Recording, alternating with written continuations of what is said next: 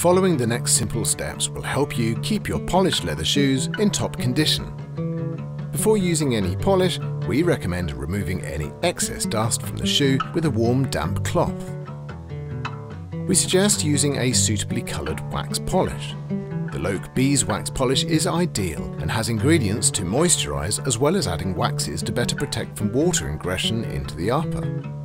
Let the polish dry for 10 minutes to allow the paraffin to evaporate naturally. Finally, once dry, even out the polish with a soft brush before rubbing over with a lint-free cloth. Always let shoes dry naturally and away from direct heat. Never place them on a radiator as the forced drying would make the soles brittle and prone to an increased wear rate. We also recommend the use of a shoe horn when putting on your shoes. This will keep the backs strong and sturdy. We also strongly recommend the use of shoe trees in all our footwear. They help maintain the shape and reduce creasing, which will extend their life and how good they look.